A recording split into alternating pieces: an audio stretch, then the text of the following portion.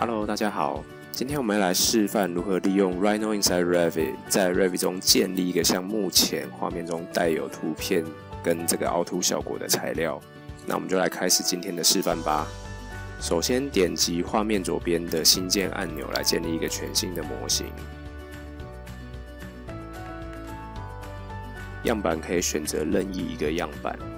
那这边我使用建筑样板作为示范。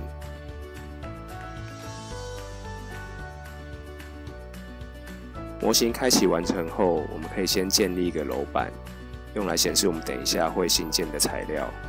点选上方的楼板，在绘制中选择矩形工具，接着在下面画出一个适当大小的矩形楼板。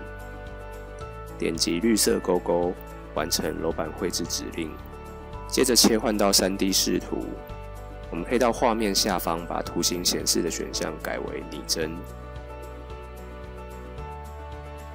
接着我们点选上方的 Rhino Inside 页签，点击左侧的 Start，我们来开启 Rhino Inside Revit 的功能。那这边需要花一点时间来启动。启动完成后，我们直接点击上方的 Grasshopper 按钮，来开启 Grasshopper 的编辑视窗。这边我们可以先稍微调整一下 Revit 的视窗跟 Grasshopper 的视窗的位置跟大小。那以我们方便浏览跟编辑为主。接着我们可以先到 MBNCG 这个网站来下载范例用的材料。那你可以浏览到你想要的材质球之后，那直接下载，那解压缩后就可以直接使用。那这边我是使用一个人行道的铺面材质作为示范。回到 Grace Harper 的视窗中，我们可以到上面找到一个 Revit 的页签，在中间我们可以找到 Material 的分类。我们今天会用到的所有的指令都在这个 Material 的分类底下。首先，我们先使用 Add Material 建立一个新的材料。Add Material 需要两个输入值，第一个 N 是名称，第二个 T 是样板。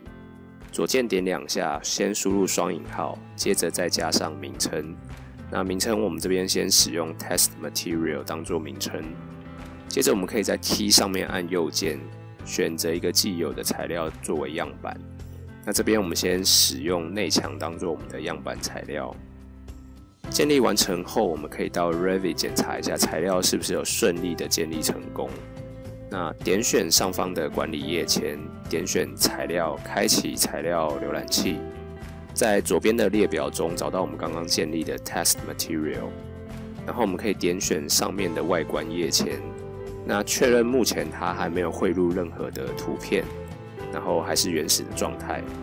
接着将 Test Material 赋予到楼板上，我们可以选择楼板编辑类型，在结构栏位上按一下编辑。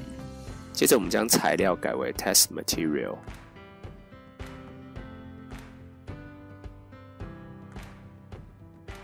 确认楼板变色后，代表材料顺利赋予。接着我们来修改材料的外观属性。这边我们要使用到的是 Replace Material Asset 的这个节点来修改材料属性。Replace Material Asset 有四个输入值，M 代表 Material，代表我们要修改的材料；AA 是 Appearance Asset，代表外观属性；PA 代表 Physical Asset，代表物理属性；TA 代表 Thermal Asset，代表导热属性。那这边我们只会用到这个 AA，也就是外观属性。那接着我们可以使用 Create Appearance Asset 这个节点，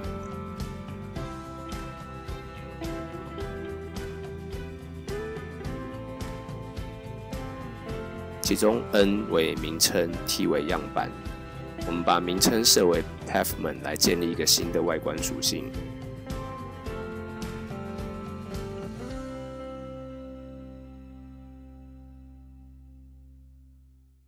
接着使用 Modify Appearance Asset 这个节点来修改刚刚新增的这个外观属性。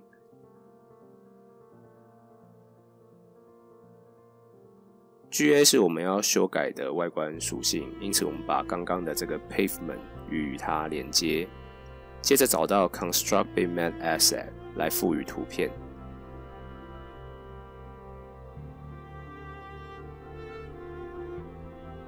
输入中 S 为档案来源。那这边我们先使用一个 File Path 节点。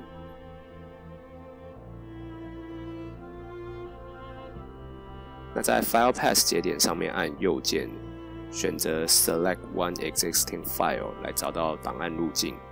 那这边我们找到刚刚下载并且解压缩的这个资料夹，那我们可以来选择 Color 的这个图片，把 File Path 与 S 做连接，接着把 Bmap Asset 跟 I 做连接。然后我们可以把这个修改好的外观属性连接到 Replace Material Asset 的 AA 输入上。那这时候我们应该就会发现楼板的外观已经发生改变。我们可以稍微放大一下这个画面来看一下结果。那放大之后，我们会发现图片虽然已经贴上，但是大小跟比例有点太小。因此我们要来放大图片的比例。这边我们要修改的就是 SU 以及 SV 这两个输入值。那这两个输入值分别代表宽度跟高度。那这两个数值我们最好把它设定成一样的数值，这样比例才不会变形。这边我们直接输入一千，并且把它连接到 SU 跟 SV 上面。那连上之后，可以看到图片已经被顺利的放大。那接着为了让这个材料看起来更真实。那我们打算赋予它 bump 属性。那赋予这个 bump 属性之后，会让这个材料看起来更有立体感，或是更有凹凸感。我们可以先直接用 Ctrl C 复制刚刚的 B Map Asset 以及 File Path 这两个节点，然后按 Ctrl V 贴上。接着把这两个节点先往下移动。接着我们可以在 File Path 上面按右键。那这次我们选择 Displacement 这张图片。作为我们的 bump 材料，那接着把我们的 Bitmap Asset 与 BI 做连接，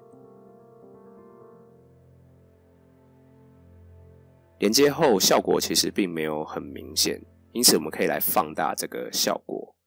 那我们可以先输入零点点五点零来建立一个滑杆，那我们可以将滑杆与 B 做连接，那我们可以来试着调整滑杆的数值来增加这个凹凸的效果。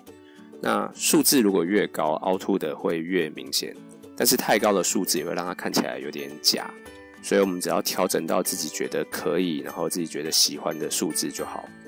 OK，以上就是我们这一次的教学内容。那如果有任何问题的话，都欢迎在下方留言提问。那就谢谢大家。